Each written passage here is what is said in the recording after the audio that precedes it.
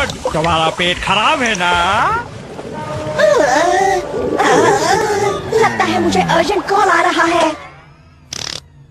जल्दी भागो जल्दी भागो।